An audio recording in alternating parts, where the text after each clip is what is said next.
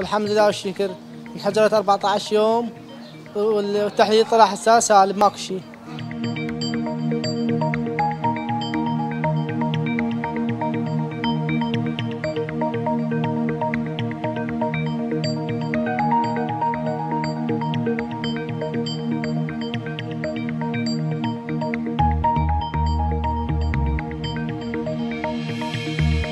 أنا عامل موظف خدمة أقدم أكسجين للناس. دخلت هذه المريضة كانت مختنقة. فقدمت له أكسجين من طريقة الالتماس تحول بها فيروس كورونا. والحمد لله والشكر. انحجرت 14 يوم والتحليل طلع حساس سالب ماكو شيء.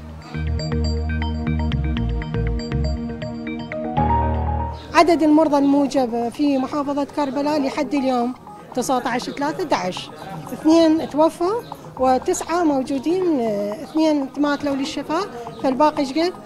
سبعة في سبعة اثنين إن شاء الله هم إذا طلع التحليل سالب أيضا إن شاء الله يطلعون باكر أو عقبة